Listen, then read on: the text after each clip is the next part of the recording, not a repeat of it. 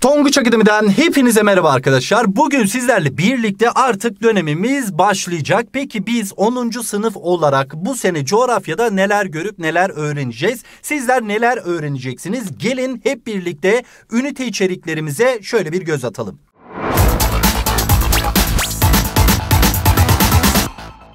Şimdi baktığımız zaman burası dört üniteden oluşmakta. Doğal sistemler, beşeri sistemler, küresel ortam, bölgeler ve ülkeler ve son kısım çevre ve toplum. Biz şimdi 9. sınıfta zor konuları gördük, öğrendik. Eksiklerimiz varsa 9. sınıftaki videoları da tekrar dinleyerek bu kısımda da o sorunumuzu biraz olsun halledebiliriz. Peki burada biz ne göreceğiz? Burada biz artık yerin iç yapısına doğru gideceğiz. Mesela 9. sınıfta yüzeyi rahat bir şekilde gördük. İklimlerden, rüzgarlardan, sıcaklıktan, atmosferden bahsettik. Artık o yerin iç yapısı ve oluşum süreçleri, dünyanın tektonik oluşumu diyeceğiz. Yer kabuğu, çekirdek, manto kısmından bahsedeceğiz. Levha tektoniği, jeolojik zamanlar, iç kuvvetler, kayaçlar ve Türkiye'de iç kuvvetler. Bakın buraya dikkat edin. Şimdi genel bir çıtayı gördükten sonra Türkiye'de iç kuvvetler yani bir genel iç kuvvetleri göreceğiz. Aynı zamanda bu Türkiye'de iç kuvvetler dediğimiz orojenez, epirojenez, volkanizma ve depremlerin Türkiye ölçeğindeki etkileri neler? Bunlardan da bahsedeceğiz.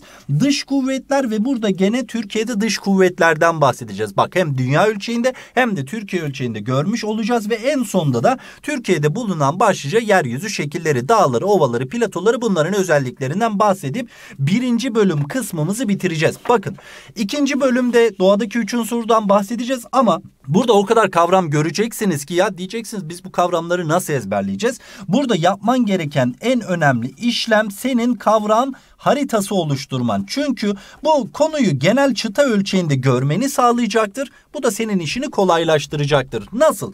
Mesela dış kuvvetlerden bir tanesi olan rüzgarlardan örnek vermemiz gerekirse. Çünkü tüm dış kuvvetlerin aşının birikim ve bazı dış kuvvetlerin de hem aşınım hem birikimi birlikte etkili olduğu yeryüzü şekilleri var. Şimdi biz burada rüzgarları gördükten sonra öncelikle mesela rüzgarlar dünya üzerinde nerelerde etkilidir dersek hemen şöyle yazacaksın. Bak kurak, yarı kurak iklim bölgelerinde rüzgarlar etkili bir dış kuvvet olarak söylenebilir. Burada mesela dünya ölçeğinde örnek verebilirsin. Avustralya'nın iç kısmı diyebilirsiniz. Çöl iklim vardı değil mi orada 9'dan hatırla. Ya da Afrika'nın kuzeyinde Sahra çölü vardı. Arabistan, Orta Asya kısmı. Bu alanlarda rüzgarlar etkili bir dış kuvvettir diyebiliriz. Şimdi bu rüzgarın oluşturmuş olduğu bazı yeryüzü şekilleri var.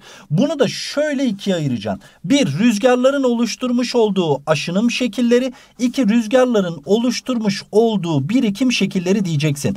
Aşınım şekilleri neyse bunları yazacaksın. Birikim şekilleri neyse bunları yazacaksın. Bak genel bir çıtayı gördün mü? Bu sorularda senin işini ciddi anlamda kolaylaştıracaktır. Yani diyecek ki mesela aşağıdakilerden hangisi rüzgarların etkili olduğu ya da rüzgarların aşının faaliyetleri sonucunda meydana gelen yeryüzü şekillerinden biridir diyecek. Mesela şıklarda tafoniyi göreceksin. Direkt işaretleyeceksin. O yüzden bu kısımda kavram haritası yapmanız sizin için ciddi anlamda işi kolaylaştıracaktır diyebiliriz. Şimdi o doğal sistemler kısmında doğada üç unsur var. Öncelikle su kaynaklarından bahsedeceğiz. Dünyadaki işte su kaynakları denizler, göller, akarsular, yer altı suları bunların özelliklerinden, bunların oluşum tiplerinden bahsettikten sonra Türkiye'de su kaynaklarından bahsedeceğiz. Bak ne yaptık? Hem dünya hem Türkiye ölçeğinde gidiyoruz. Sonra toprak tiplerinden, toprağın oluşum özellikleri, toprağın horizonları, toprağın katmanlarından bahsedip dünyada ve Türkiye'de toprak tipleriyle ilgili bilgilendirmeler yapacağız ve en sonda da bitkiler hem dünyada hem Türkiye'de bitkilerle ilgili güzel bir ders anlatımı gerçekleştirmiş olacağız. Ama bak burada dur. Niye burada dur? Bak buradaki konuların rahat bir şekilde öğrenilebilmesi için senin neyi bilmen lazım? Senin iklimi bilmen lazım. Eğer ki dünyada görülen iklim tiplerinin özelliklerini biliyorsan hem toprakta hem de bitkide işin çok kolay olur. O yüzden bu konular geldiğinde 9'daki o iklimle ilgili eksikliğin varsa orayı da halletmeden geçme diyelim. Geldik ikinci ünite kısmına beşeri sistemler. Bakın mesela 9. sınıfta beşeri sistemlerde sadece yerleşmeyi gördük. Ama burada biraz daha güzel, eğlenceli bence de hani hafif de zor kısımlar var. Mesela nüfus. Nüfusun özellikleri, dünya nüfusunun tarihsel süreçteki değişiminden dünyada nüfusun alansal dağılışından ve en son nüfus piramitlerinden bahsedeceğiz. Belki burası bir tık daha zordur diyeceğim ama bunu da güzel bir şekilde bu sene halletmiş olacağız. Sonra bak dünyada gördük. E o zaman gel Türkiye'de de gör. Aynılarını Türkiye ölçeğinde de görmüş olacağız. Sonra göçler. Göçlerin nedenleri, sonuçları, dünyada gerçekleşmiş büyük göç hareketleri, Türkiye'de göçlerin nedenleri, sonuçları ve göçün mekansal etkilerinden bahsetmiş olacağız. Ekonomik faaliyetler. Burada birincil, ikincil, üçüncül, dördüncül, beşincil ekonomik faaliyetlerden bahsedeceğiz ki bu seneki yani 2022 yılı TYT sınavında gelen sorulardan bir tanesi burayla ilgiliydi. Ve bu ekonomik faaliyetlerin ülkelerin gelişmişlikleriyle ne gibi ilişkisi var? Bunlarla ilgili de güzel bir konu anlatımı gerçekleştirmiş olacağız diyelim. Geldik şimdi 3 ve 4. ünitelere. 9. sınıfta da aynı sistemde gitmiştik. Hatırlarsanız doğal sistemler, beşeri sistemler, küresel ortam, bölgeler ve ülkeler ve son kısımda çevre ve toplum. Burada 3. ünitede ne göreceğiz? Küresel ortam, bölgeler ve ülkeler kısmında uluslararası ulaşım hatları yani karayolu, demiryolu, deniz yolu, hava yolu ulaşımı bunların dünya ölçeğinde yoğun ve seyrek olduğu yerlerin sebepleri ve aynı zamanda dünyadaki önemli boğaz ve kanallarla ilgili de güzel bir harita etkinliğimiz de olacak bu kısımda sevgili arkadaşlar. Sonraki kısımda dördüncü ünitede çevre ve toplum gene bir bilgilendirme, bilinçlendirme ünitemiz olarak düşünebiliriz. Burada öncelikle afetlerden bahsedeceğiz. Dünyadaki afetler, afetlerin görüldüğü yerler, bunların özellikleri ve aynı zamanda afetlerden korunma yöntemleri, yollarından da bahsetmiş olacağız diyelim. Ve biz her videoyu anlattığımızda bizi, bizleri daha rahat bir şekilde takip edebilmeniz için biz coğrafya olarak ne diyeceğiz? Sıfırdan ona konu anlatımlı kitabımızı açıyorsunuz.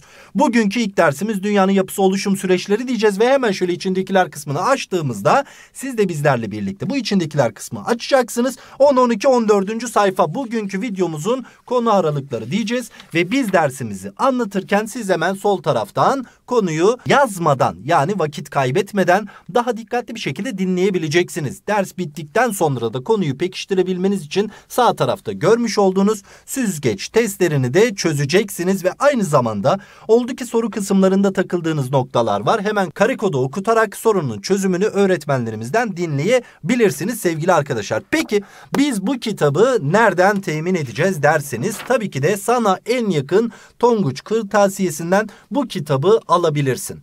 Aynı zamanda biz videonun altına link bırakacağız sevgili arkadaşlar. Sana en yakın Tonguç Kırtasiyesi hangisi? Bunu da rahat bir şekilde görebileceğin bir link var. Ve kitabı internet üzerinden almak istersen de buradaki satış noktaları da mevcuttur diyelim.